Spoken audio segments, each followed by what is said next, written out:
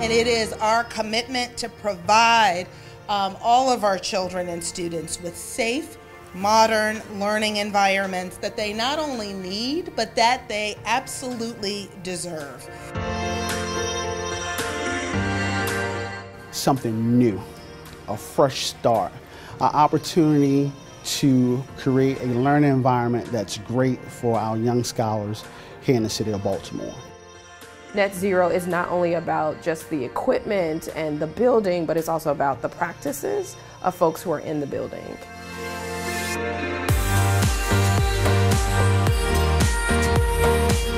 You have two exact schools who have two of the same infrastructure, spaces, and all of those different things like that.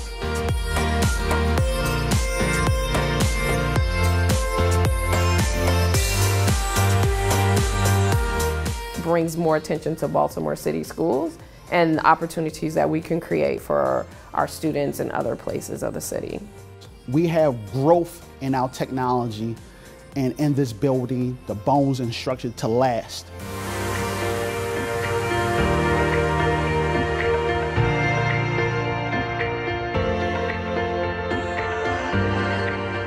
I like sports and I'm so thankful for this amazing new gym that we have that includes locker rooms and a electronic scoreboard.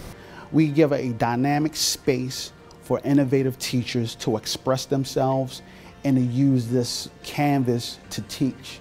The ultimate goal is the building as a learning tool, creating a space that responds and can change with its students' needs as they evolve and as time changes. We have areas where typically you wouldn't see into a mechanical room but we've got windows in the glass so that students can look into that and they see behind the scenes about what the building is like. We'll talk about, you know, how you develop this curriculum around the building and about around net zero and engaging with um, the both school communities on, again, the, the most successful part about a net zero school is about the behavior of the staff administration and the students, how we conserve energy in this space.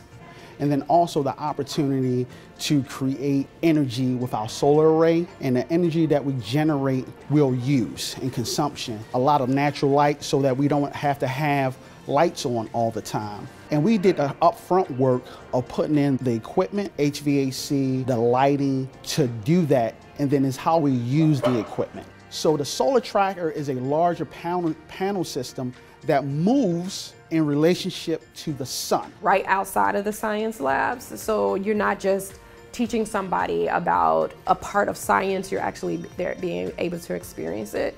And I think that one of the interesting things that we all say is that most people, children learn outside of the classroom. So our most memorable learning experience happens outside and so we're able to provide that within this building. Parents want safe environments for their kids and they want to feel that their kids are in spaces which respect their kids and respond to their kids' needs. And hopefully these schools do that.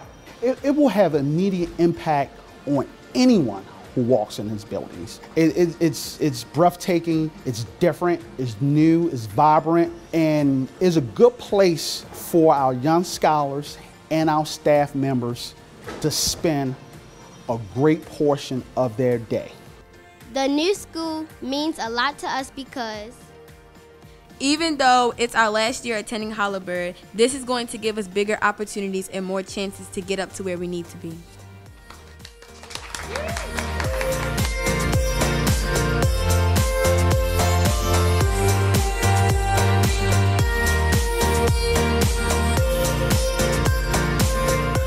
For all that, I say thank you for helping our school be a better place for progress and pride.